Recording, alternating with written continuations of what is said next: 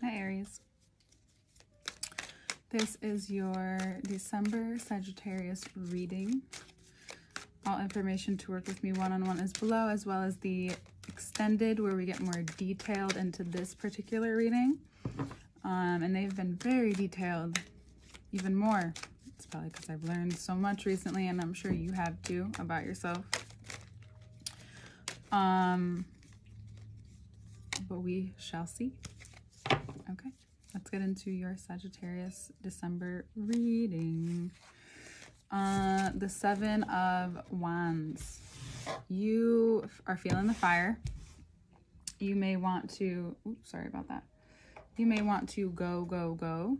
You may want to also be on the defense uh, no matter what. There's just some energy. It's Mars.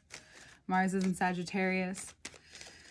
So you will feel this ignite you in ways that may feel uncomfortable, perhaps.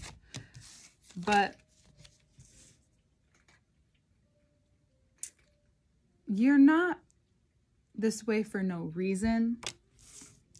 But you may be with this like this and especially with the ways of the people that you love the most and of course during the holidays it's kind of like do we choose to ignore this do we choose to you know get into this but this is also about you and how and maybe you're in this mode where you feel like you need to defend yourself and your moral ground perhaps and it feels maybe vulnerable. But more than anything you may realize that this may be again this card keeps coming out. It may be a blind spot on what's holding you back. And what's holding you back is from the seven of wands to the ten of pentacles to the six of swords to the eight of swords is that if you don't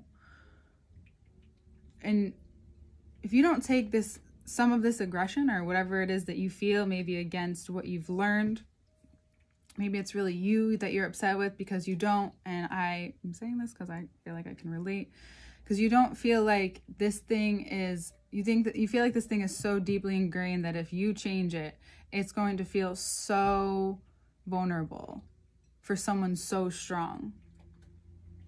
Especially someone who may be strongly attached to these specific aspects of their life of your life.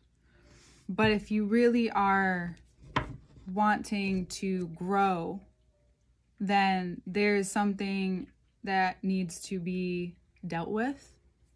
Maybe it's this particular situation. Maybe it is really um an internal thing for a lot of you. It's both of course but it's not all of you.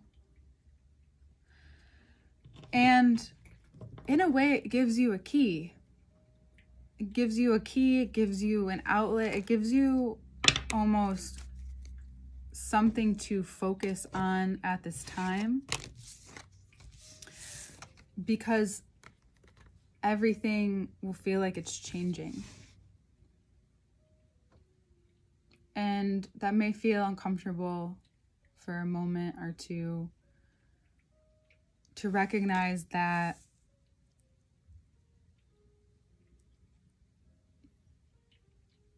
this defensiveness may only be coming from a part of you that you're holding on to and you feel like you're actually helping other people, but it's not helping anyone anymore. And it's especially not helping you.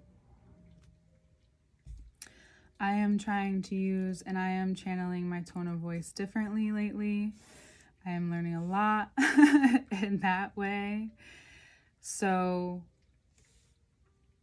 just know, and when you can't be that way, right? So let's just take even what I said that much further because it relates to this. When you can't be that way, and you don't know how to get something across and you're not in the presence or you know it's a fragile time or you know you know there's something more or if you're and if you're aware of these things if you can be and you are then it's really important to do what you need to to take yourself out of the situation and have or be in the presence of someone who can have this tough conversation, even if you feel harsh at first, even if you feel like you have a shell or you have your armor on, and then all of a sudden you get into and you realize you don't need your armor around this person. You don't need, you can expose yourself to this person. You can expose yourself and trust yourself. And maybe that's a value and a deep rooted seed that you run into and realize, like, oh, this is how I can transmute this. Maybe this is something to focus on, even if it's not a goal or a destination. It's just something that you can help that can help you accept the change the maybe the even the abrupt change that begins to happen. This opening and it's fixed energy right? So we're in a mutable sign right? But there's still this energy of it feels a little hard you know mars feels a little harsh right now and you're used to it and you're you're here with it but it's affecting you and it's affecting your life and it's affecting how your growth is now really shifting. You're seeing this already this nodal effect. The nodes moved into your sign. And you're feeling it strongly, especially if you're in Aries rising. You start to feel your identity shift. This first this first shift here in the in this.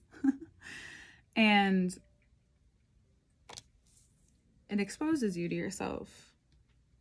But then it exposes you to this part of yourself that could only come from that exposure, right? So then this trickle effect, this domino effect starts to roll out and it can feel towards the middle of the month, especially as we get into Mercury retrograde, it could feel like you are really in a tunnel. Like you don't, you know, you're just kind of navigating yourself through this moment and being present. And I highly recommend doing your best to be present and finding ways that bring you there maybe through just a suggestion, the beginning of the day, just so that energy just continues to roll out or leaving yourself reminders, whatever it is that you need to do. Because the last thing you're going to do is want to talk about it while you're in it or talk about whatever this is as you're going through each step here. But what you can say or what you can speak to and what can be pulled out of you is this every and this has also been a theme actually this is a continuous theme um, which we see sometimes but all the time but this is a specific one is the attachment is being non-attached. Now we talked about this i think for about two months since libra season. And you're starting to recognize that you how you hold on to certain grievances or grudges, if you hold grudges, or if you hold yourself to a certain place and you feel like if you move, everything's going to fall, then there's no trust there. This is, this shift is this trust, is you learning to trust the path that's being laid out in front of you instead of being full on Aries. I'm laying out this path. I know I'm going this way, right? But then you gotta jump over a rock, turn left, fork in the road, you veer right. And you feel like there's no way out. You're locked in. And it's like, this is Sagittarius season. Why do I feel locked in? Well, you may have believed something that's been, or there's been something that was shown to you and you've maybe had no choice but to believe it. Maybe you didn't know how to question it. Maybe you just didn't and it worked for a while. Who knows? But you're realizing that this belief, this strong sense of this is how I get from A to B to Z. Because, and this is for some reason drawing my attention, we have the 7, 10, 6, 8, right? So it goes up and down. But it's just funny. That you may have to take a couple steps back. You may have jumped, but then maybe you need to go back just to move forward. That you don't always get to control the direction because there's actually something else controlling you, perhaps. There's something connected to you and has a different direction for you, or maybe you've learned all you can where you're at, and now it's time to give this energy more life. And you're maybe figuring out different ways of doing that. And you reveal to yourself how it can be difficult to change if it's not first ultimately your decision or well you're always deciding but you feel like you're just being kind of drawn and you're maybe skeptical at first. But then you realize the only reason why you're skeptical is because there's some attachments over here that you haven't had proper peace with yet. You don't want to leave things unhinged which is a beautiful thing because there will be every year around this time Sagittarius Capricorn season we may encounter people from all across our lives, perhaps depending on, you know, what's happening with you. Or, you know, life's way of allowing things and people to show up.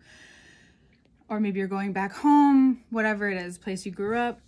Maybe you're not, maybe it's totally different, but you still get reminded and have, there's a sense of nostalgia. And you see these attachments and how you've played into them and how it's now playing into your life right? There's layers this season that you cannot focus on. You're getting time to yourself, maybe in a way that you can both be in your life, but while also taking care of this. If you do need extra help, because it does look like this is a big change, and there's nothing wrong with having a little bit more support on your side, right? Even if there are no sides, but just on your side for you just energy, more energy being directed like positively with you. Right? Maybe be unattached to how you receive that. And maybe that can be a mantra threaded throughout other areas of your life this season. Aries. All right. We will see you next month. Happy holidays if you celebrate if this is normally a lonely time of year, maybe you reach out to someone, maybe someone reaches out to you, maybe you do something different, maybe you don't have to be alone and reach out to someone. If not, we're here. I'm hopefully going to be having more content out. I am stretching myself too.